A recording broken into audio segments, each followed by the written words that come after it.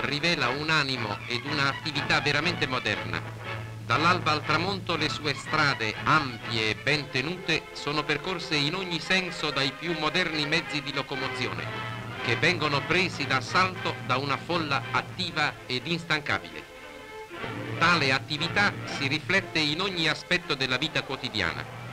Al mercato, dove le offerte più varie hanno voluto provare ai componenti la missione, il sentimento del popolo sin nelle classi più umili.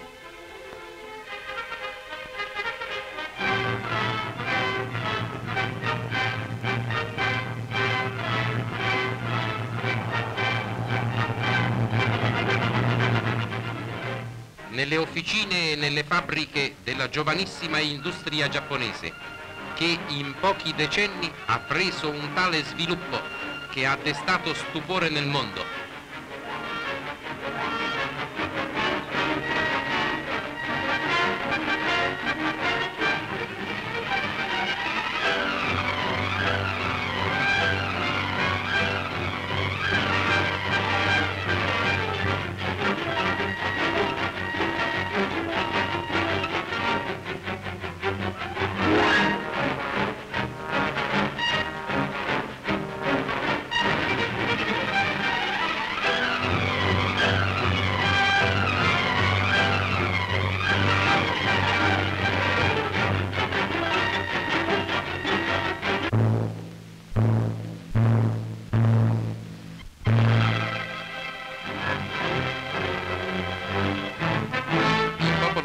Giapponese sin dai tempi antichi ha avuto una grande predilezione per gli sport che ha sempre coltivato con grande attaccamento.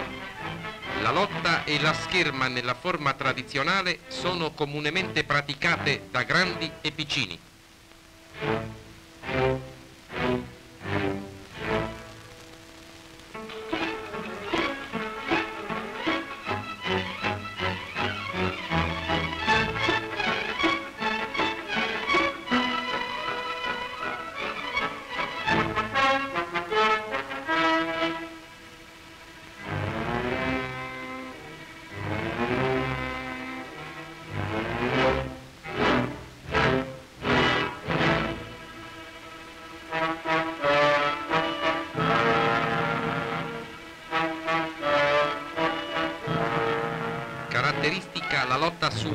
Che appassiona in sommo grado il popolo. Ma accanto a questi antichi giochi è stato dato oggi grande impulso agli sport occidentali e il popolo vi si è dedicato con una tenacia ed una disciplina che gli hanno fatto conquistare numerosi primati.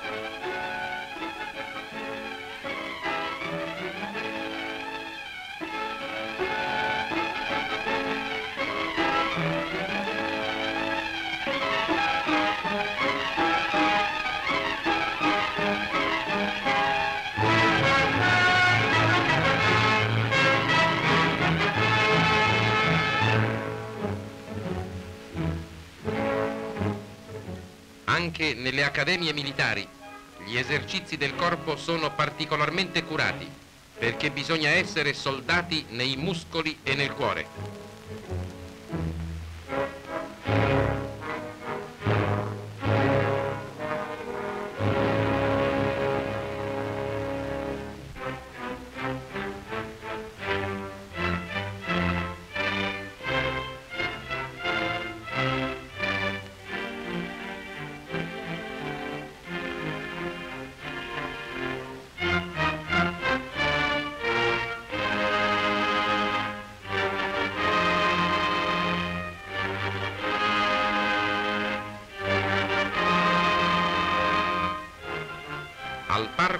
Ovest della capitale una manifestazione giovanile di masse con la tradizionale scherma Kenso rivela ancora una volta lo spirito militare giapponese.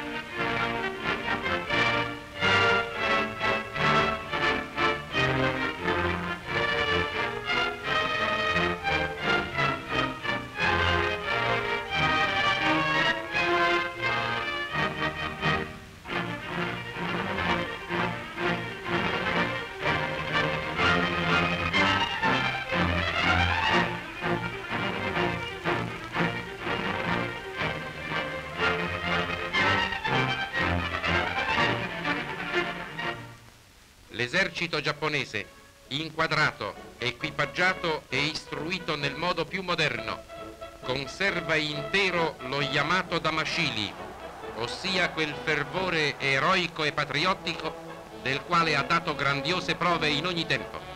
Questo sentimento eroico avvicina gli spiriti dei nostri due popoli.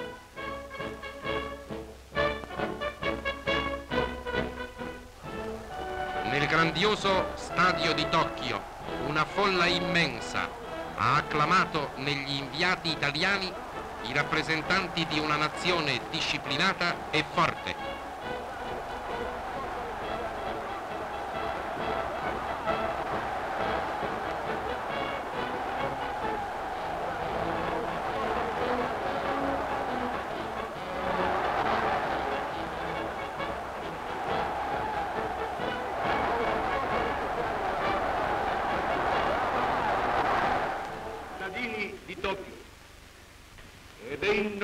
Roma fascista. Ed è in nome dell'Italia imperiale che io ed i miei camerati della missione siamo venuti ad esternarvi la simpatia del partito col quale un duce che si chiama Mussolini ha temprato tutti gli italiani ed ha fondato un impero.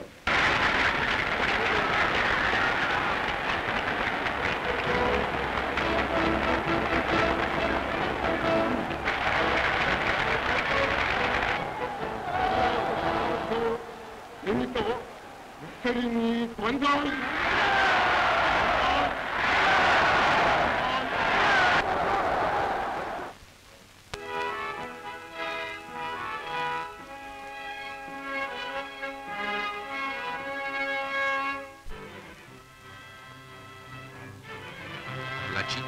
dagli splendidi templi Nikko, orgoglio del Giappone, accoglie festante i visitatori.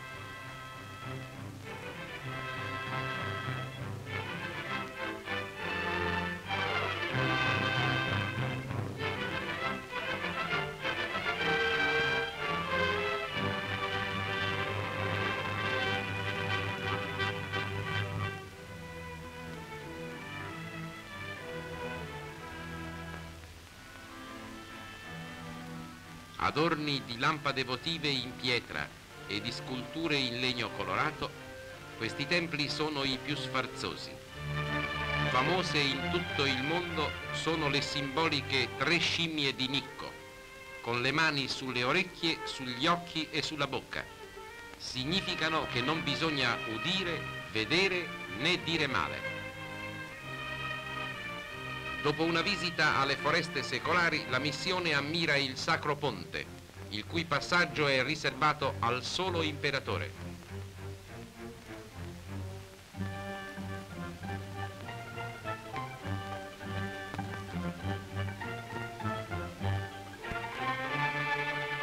Kamakura fu capitale del Giappone nel periodo feudale militare.